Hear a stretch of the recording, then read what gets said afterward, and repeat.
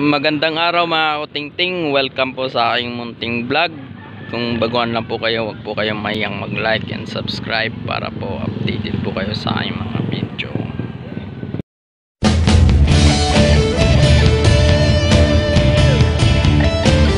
For today's video mga kakutingting, uh, may gagawin na naman tayong isang twin tub washing machine.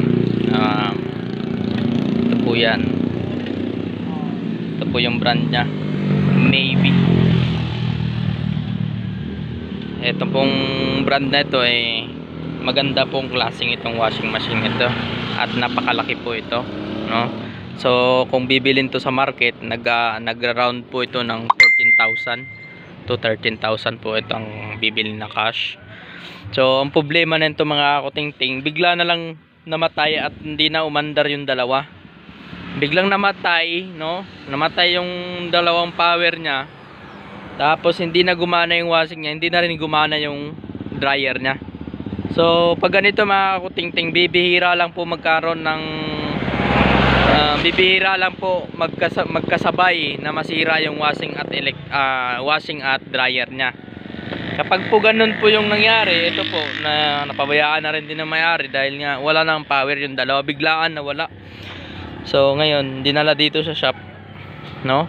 So mga kakutingting, kapag po yung dryer or tapos yung washing biglaan pong hindi uma, hindi gumana ng sabay, ibig sabihin po niyan na uh, mayroon lang po yung parts ng uh, maliit na bagay sa likod ang papalitan natin para gumana. Kasi po bibihira lang po talaga masira yung washing machine na dalawang dalawa mismo sila nagsabay na hindi umandar.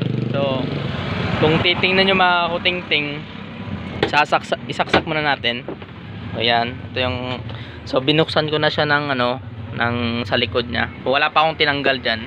Uh, binuksan ko lang siya para makita nyo. Yan ta saksak natin yan sa 220 volts. O 230 volts. So yan o.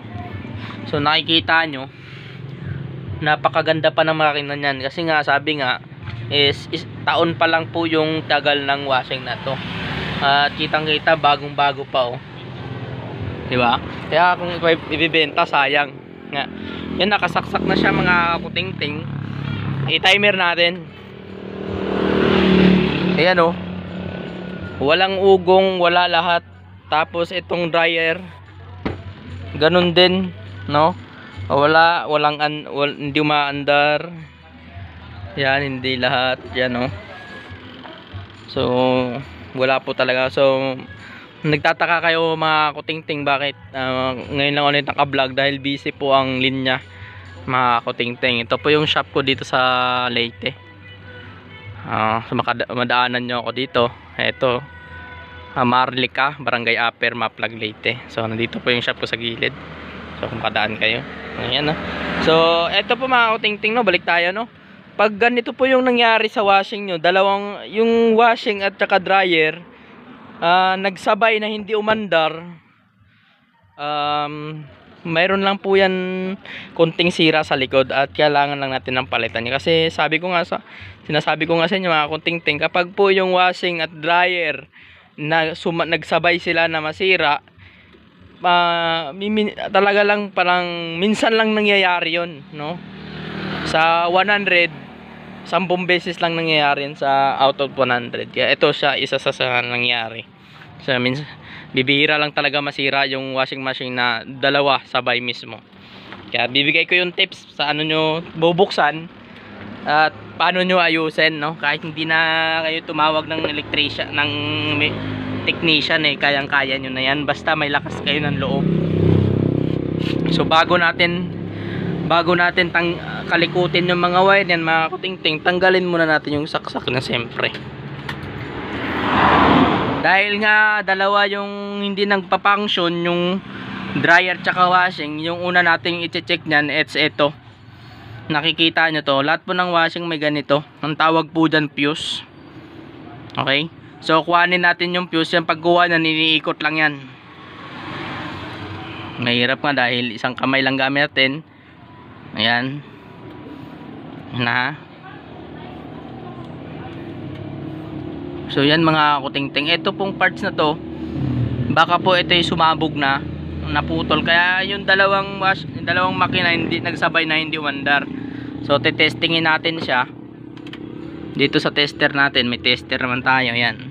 Set natin siya sa ah, diode or continuity. Tapos re-readingin natin naman yung dalawa. Dalawang terminal. Ito. Ayan.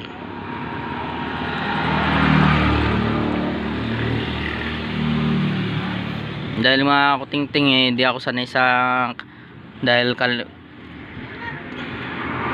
ganyan lang oh. Ito hindi natin makikita yan. Hmm. So yung mga kutingting, tinesting natin siya. oh. So wala siyang continuity.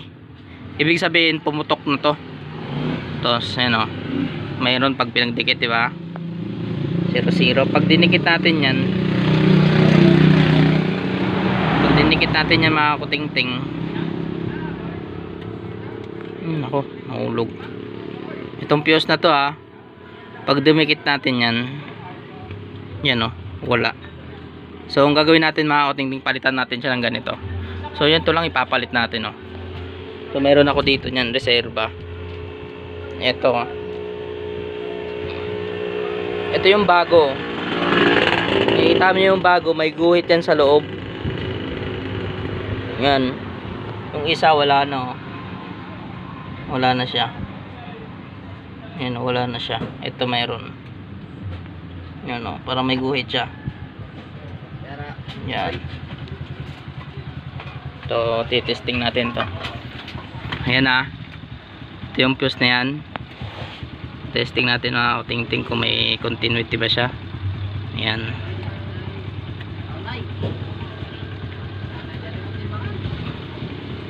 Ang hirap nito mga kutingting dahil nga isang kamay lang yung gamit natin. So yan. Yan. Yan mga kutingting may continuity siya. oh. Ayan oh. So yan po may continuity na siya mga kutingting. So ikakabit lang natin to. Itong parts lang oh, maliit lang oh. So kabit muna natin mga kutingting. So, yan, ibabalik mo lang sa doon. Tapos wala wala lang tayong tanga video. So, ilalak ko muna ako ting, mga kutingting. Ayan mga kutingting, nakakabit na natin siya. Wala tayong ano ah, wala tayong halong biro dito. Walang ano dito, legit to mga kutingting. Wala tayong ibang ginalaw diyan, ito lang. So, sasaksak na natin siya, mga under na. Ayan. Saksak na natin siya. Yan, nakasaksak na siya. Tapos, yan oh, mandar na oh. Dahil naka-timer pa siya oh. Yan mga kutingting, naka-timer pa siya. Hindi natin. Yan, nakita nyo, ang lakas ng andar niya mga kutingting oh. Yan oh. Yan oh. O, diba? Ito lang pala yung problema mga kutingting oh. Napakasimple lang pala. No? Lamang po ang may alam mga kutingting oh. Nakatipid na kayo sa libor. Yan oh. Yung dryer oh, ang lakas oh. Ha? Ang lakas mga katingting no. Dahil kanina walang power. Ngayon, ito na siya ngayon. Uh, diba? Ganun lang. Ayan oh.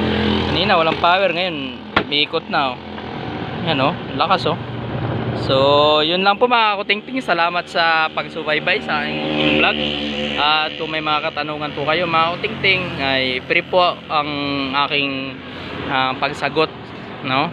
So, i-comment nyo lang po yung mga katanungan nyo at sasagutin ko po yan sa sasagutin ko po yan kung alam ko po ang answer. So, ganun lang mga kutingting. Salamat sa panunood. Huwag nyo pong kakalimutan mag-like and mag-subscribe para po updated po kayo sa aking mga munting video. Thank you.